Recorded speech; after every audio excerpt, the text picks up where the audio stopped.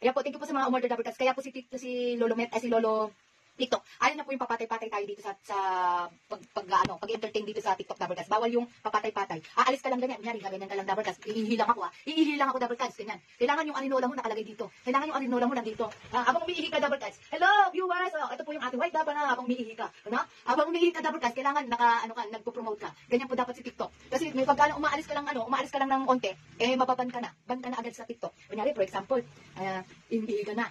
Nagdadala akong arinola at kung saan ko na may arinola ko? Andito yung arinola ko, wait lang ha. Kailangan TikTok, papakita ko ng arinola ko. Ayan. Ayan. Pag iihi. Pag iihi na ako, dapat kasi lalagay ko na dito agad yung arinola ko para, para kung ano man, maihi man ako, malinis yan ha. Nilinis ko kasi alam kong maiihi ako mamaya. Pag naihi ako, gaganito lang ako double cuts. Ganyan.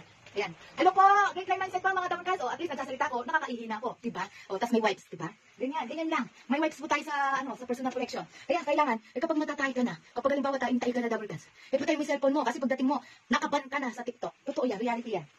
Yan po yung nararanasan namin dito sa ano sa TikTok double cuts. Kailangan naka ano ka, naka-monitor ka. Hindi yung papatay-patay ka. O, tingnan mo. Saan pa mo ng karton? Hindi ako pwede umalis kay TikTok. Kailangan nakikita niya ako. Kasi si TikTok gusto niya robot ka rin eh. Diba? Kasi diba si TikTok po, robot yan. Kailangan robot ka rin dito. Bawal kang papatay-patay. Iinom ka lang. Kailangan meron ka na nakahandang inumin. Kasi bawal yung, bawal yung ano, aalis-alis ka tapos wala kang, wala, walang nasasalita. Kailangan nasasalita ka. Hmm. Ganyan kahigpit si TikTok. Kasi kapag hindi ka umalis ka tapos hindi ka hindi ka naka-monitor, hindi nakita ni TikTok na walang view, walang nagsasalita sa live mo, mababan ka. Yan ganyan na si TikTok ngayon. Kailangan nagsasalita ka. O ito papaliwanag ko po sa inyo yung ano ating white uh, white uh, check soap. Salamat po sa mga umorder ng check soap natin double touch. Check soap at saka check soap na blue. Bakit tatlo po kulay yan? Iba-iba pong benefit yan. Isasabihin ko po sa inyo kung ano po ang mga benefit niyan touch, no?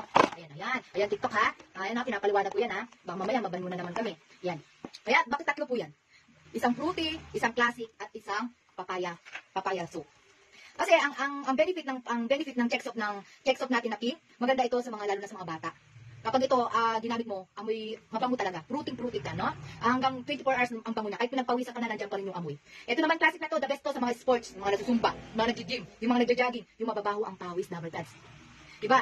Lahat tayo, merong merong mga tao. Ako double touch pawis pawis ako, hindi ako yung ma, ma- yung amoy na amoy na pawis na masangsang. Alam mo niyo yun, merong mga ganung tao, di po double touch? Yung mga pawis nila yung pag natuyo sa gamit, ang baho. Meron ganyan double cuts. Meron marami akong makilalang ganyan. Tapos may anghe, merong mga ano ay mga may may amoy ang kilikili. Ang paggamit niyo po yung papa ah, check soap na classic kasi ito ah ito po yung classic natin. Merong ah, parang may ah, parang may tawas. Yung ano alam mo yung may ingredients ng tawas. Ito itong double double cuts ang paggamit ng kulay blue. Yung ating papaya check soap naman double cuts. Ang kagandaan nito 3 in 1 whitening siya. Yan, antibac din po siya at saka hydrating po siya. Hydrating. For example, maalikabok. Maalikabok, maalikabok, pag naalikabokan kayo, di ba double cuts, merong dry. Dry yung skin nyo. May, may magkakaroon ng guhit.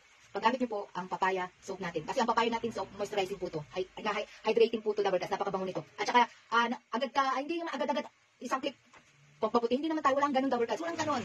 Ano to, nakakatulong na maibalik yung kulay mo. Nakaka, nakaka-moisturize po itong ating papaya soap. Kaya ito, cuts, medyo ma- mataas ito compare dito sa dalawa. Ito kasi 60, 60 ang regular nito. 60 pesos, 60 ang regular nito. Ito po siya, yung ating check soap. Ang ating check soap, pap, ah, check soap. Ah, papakita ko lang, pipin ko. Ba't tayo mapin? Ito, yung check soap natin. Ang regular price po nito ay 60. Tapos yung ating papaya po ay, bakit tayo niya mapin? Tapos ang ating check soap ay ah, 64 pesos po. Mas mataas po siya ng 4 pesos compare po dito sa dalawa na to. Ganun po siya double cuts, no? Kaya yan po, alam niyo na po yung mga benefit nito, itong tatlo na to. Kaya iba-iba po siyang kulay. Ganun po siya double cuts, no? Ah, yan, pa-order natin to. Pa-order natin to taga check soap. Ito check soap taga Metro Maynila, Paranaque. Si Ma'am Grace Chan. Ayan. O, diba? Chag, asawa po siya ni Jackie Chan, no? Ne? Yan po ang ating ah, check soap.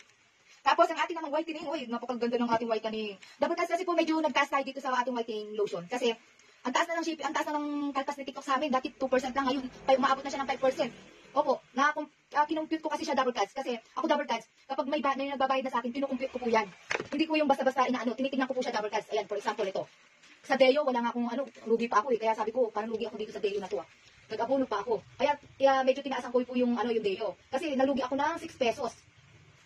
6 pesos talaga. Kaya po mga seller dyan, yung mga seller, titignan niyo po yung wag po basta bigay ng bigay ng ano. Kasi si TikTok, 5% na po yung inaano niya. Tingnan niyo katulad dito sa akin. Ayan o, tinitik, inaano ko yan. Sinusulat ko po lahat yan, double cuts. Ayan o, sinusulat ko. Tapos kapag may na-return pa, double cuts, katulad nito, bogus buyer, si ma'am. yung shipping niya 38 pesos, mapupunta po sa seller yun. Huwag naman. Nagtatrabaho po tayo. Kung wala po kayong pera, ma'am, kung wala kayong pera double cash, huwag na tayong umorder. Mag-check, mag, mag-scroll-scroll na tayo at mag-add to cart. Kasi kapag po na, na, na return sa seller yan, kawawa naman po si seller. Imbis na chicha, na nga. O, diba?